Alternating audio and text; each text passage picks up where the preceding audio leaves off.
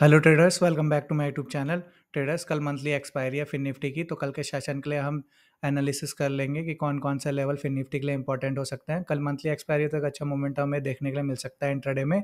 तो level note कर लेंगे कि कल के सेशन के लिए कौन कौन से लेवल इंपॉर्टेंट हो सकते हैं और हम क्या ट्रेड प्लान कर सकते हैं।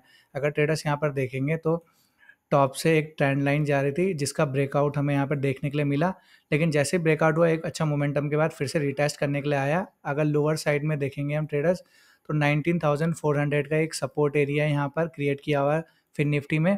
और जो हमारा यहाँ पर रेजिस्टेंस एरिया बना हुआ है करंटली 19,1800 के आसपास है। अगर कल के सेशन में ओपन होता है 19,800 को ब्रेक करता है तो एक बाइंग साइड में हम पोजीशन क्रिएट करेंगे जिसमें हमारा फ़र्स्ट टारगेट 19,900 के आसपास का रहेगा। अगर सेल साइड में हम देखेंगे ट्रेडर्स तो सेल साइड में यहीं से अगर हमें देखना, देखने के लिए मिलेगा फाइव मिनट टाइम फ्रेम पर देखेंगे, छोटे टाइम फ्रेम पर भी इस सेल साइड में हम क्या ट्रेड प्लान कर सकते हैं। बाइंग साइड में तो जैसे ट्रेडर नाइनटीन एट हंड्रेड के ऊपर निकलेगा तो हमें एक अच्छा बाइंग अपॉर्चुनिटी मिल सकती है, क्योंकि काफ़ी कंसोलिडेट कर रहा है नाइनटीन थाउज़ेंड एट हंड्रेड के आसपास तो ब्रेकआउट देगा तो एक अच्छा मोमेंट हमें बाइंग साइड में देखने के लिए मिल सकता है। First target nineteen eight eighty और second target nineteen nine twenty के आसपास का रहेगा।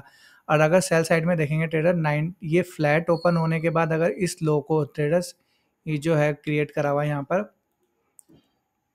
ये जो एरिया जहाँ पे कंसोलिडेशन हो रहा है 19,730 के नीचे जैसे ही निकलेगा एक सेल साइड की पोजीशन हम क्रिएट करेंगे जिसमें फ़र्स्ट टारगेट हमारा 19,680 के आसपास का होगा जो कि एक कंसोलिडेट एरिया है यहाँ पर जहाँ पर ये कंसोलिडेशन किया हुआ है फिर निफ्टी ने इस एरिया के आसपास का हमारा फ़र्स्ट टारगेट रहेगा फिर निफ्टी में। तो करंटली जैसे ही ओपन होता है तो हम बाइक साइड में प्रीफर करेंगे। जैसे ही नाइनटीन थाउज़ेंड एट हंड्रेड को क्रॉस करेगा तो बाइंग साइड में पोजीशन क्रिएट करेंगे, क्योंकि बाइंग साइड में हमें अच्छा मोमेंटम देखने का मिल सकता है।